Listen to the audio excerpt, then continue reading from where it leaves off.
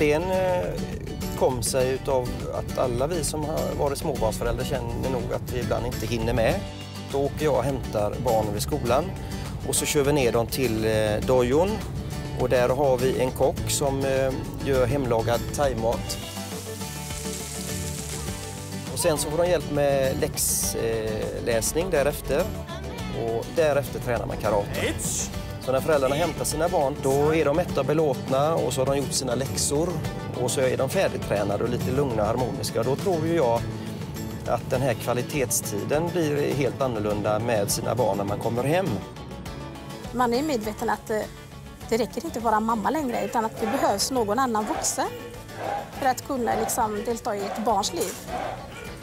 Och eh, just karatebussen, hur den är upplagt, hela konceptet är ju väldigt bra. Hej Emil! Hej! Då ska vi se, du kan sitta på den här sidan, på min sida här. Här kan du sitta. Han är en eldsjäl och väldigt bra här med barnen. Mikael han är snäll och han är jätteduktig på att träna karate. Benjamin är en, en av mina äldsta elever.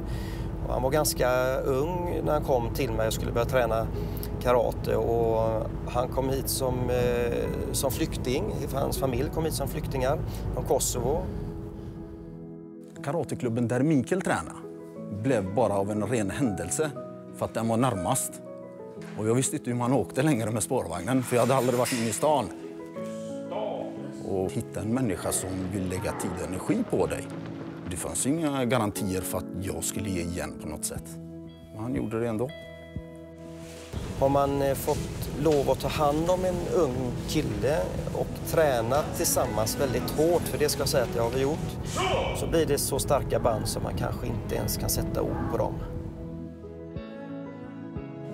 Det Mikael har gett mig det är ju en fostran egentligen in i svenska samhället.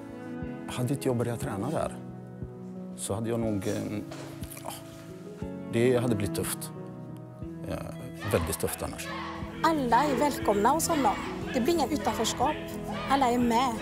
Och det är en grundvärdering som han lever för och lever upp till.